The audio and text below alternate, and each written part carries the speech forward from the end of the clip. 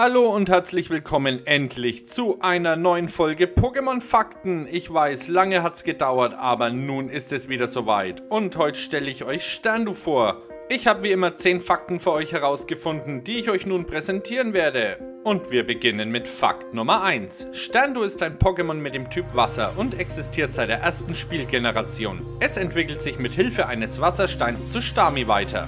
Fakt Nummer 2. Stando hat sein Debüt im regulären Anime in der Episode Pibi und der mysteriöse Mondstein, welches die sechste Folge des Animes ist. Sie erschien am 6. Mai 1997 im japanischen TV. Fakt Nummer 3. Stando ist einem Seestern nachempfunden und fast gänzlich in hellbraun gehalten. In der Körpermitte hat es eine gelbe Farbe, aus der eine rote Perle ragt. Standus werden bis zu 80 cm groß und wiegen bis zu ca. 35 kg. In seiner schillernden bzw. in seiner Shiny Form sind die hellbraunen Körperareale weiß und die Perle im Zentrum blau. Fakt Nummer 4. Standus findet man in allen Regionen, vor allem in der Nähe von Salzwassergebieten. Sie leben vor allem in Küstenhöhlen und werden manchmal an den Strand gespült. Fakt Nummer 5. Standus sind in der Regel nachtaktiv, sie kommen meist nur an sternenklaren Nächten an die Oberfläche. Fakt Nummer 6. Wenn es eine seiner Sternspitzen im Kampf verliert, wächst sie wieder problemlos nach. Solange Standus Kernstück nämlich unversehrt bleibt, verfügt es über eine exzellente Selbstheilungskraft. Fakt Nummer 7. In der Nacht leuchtet Standus Perle rot auf. Es klingt im selben Rhythmus wie ein menschliches Herz und sendet dabei mysteriöse Radiowellen in die Nacht. Mit diesen soll es angeblich mit den Sternen am Nachthimmel kommunizieren.